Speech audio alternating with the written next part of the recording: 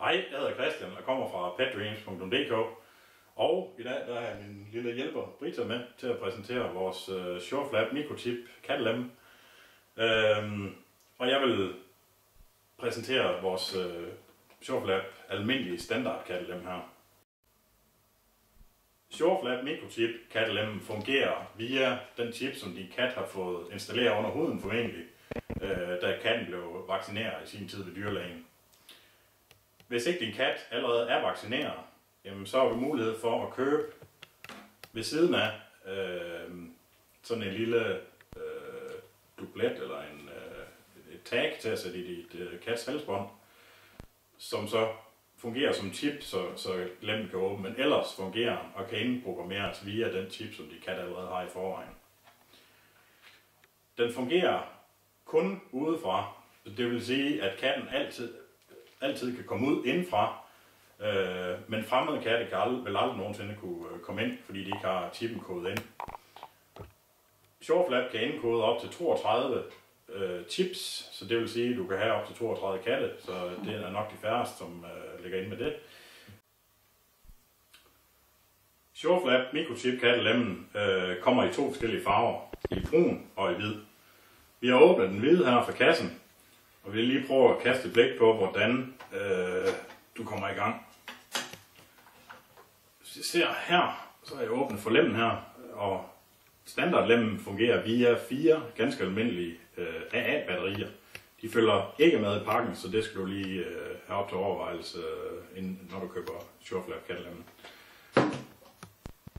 Ellers, så har vi en M-knap hernede, som vi kan se her, og det står for Memory, og det er simpelthen så simpelt, så, så når du sender katten igennem, når du skal have katten indscanne, sender katten igennem, og så inden har du trykket på memory-knappen, katten går igennem og bliver registreret, og det er sådan set øh, det eneste, du skal gøre, for at katten øh, så registrerer, og andre kat ikke kan komme ind længere.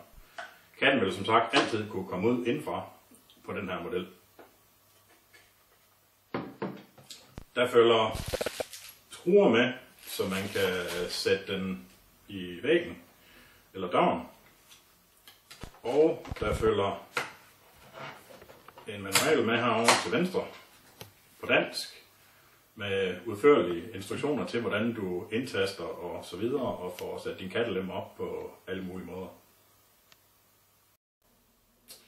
Hvis du har en, en øh, lang, tyk mur eller dør, som øh, sjovflappen skal sættes op i, så er det også muligt. Det du kan gøre, det er, at du køber ekstra tunneler. De får i hvide, og de får så også til den brune model herovre. Hver tunnel giver 7 cm, så hvis du har 40 cm, jamen, så skal du have, øh, ja, med hovedregning 6 øh, tunneler. Øh, det sætter du simpelthen op ved, at man skiller lemmen af, og så kan man ligesom forlænge den her side med, med tunnelen, indtil du øh, når igennem på den anden side. Det du lige skal være opmærksom på, det er, når du sætter så mange tunneler eller flere tunneler igennem, så skal du have en adapter også. Øh, problemet er, at de skruer, der følger med, jamen de er ikke, selvfølgelig ikke langt nok til at nå igennem. Så derfor så skal du have en adapter med en plade på begge sider. Kattelemmen den kommer igennem, hul, eller igennem hullet her, og så skruer man simpelthen adapteren fast på hver side med fire skruer, og så bliver, øh, kommer tunnelen til at sidde i klem øh, øh, i spænd, undskyld. Det du skal, det kan være en fordel at bruge noget gaffetape lige at snøre omkring tunnelelementerne, så sidder de ekstra godt sammen. Hvis du skal installere SureFlap kattelemmen i glas, jamen så skal du også bruge sådan en adapter her.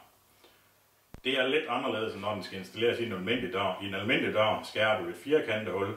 I glas, der skal du have en cirkel, og det står fuldt og klar i manualen, hvor stor den cirkel den skal være. Øhm, der skal simpelthen en, en adapter på for at holde, øh, holde ruden tæt, øh, så, så gassen ikke ryger ud, og ruden ikke bliver punkteret. Lige her til slut, så vil jeg bare sige, at SureFlap kommer med 3 års garanti. Hvis der skulle ske noget med shoreflappen inden periode, jamen øh, så sender vi en fragtmand ud og henter en ved øh, lige ved din dør og sender den til reparation.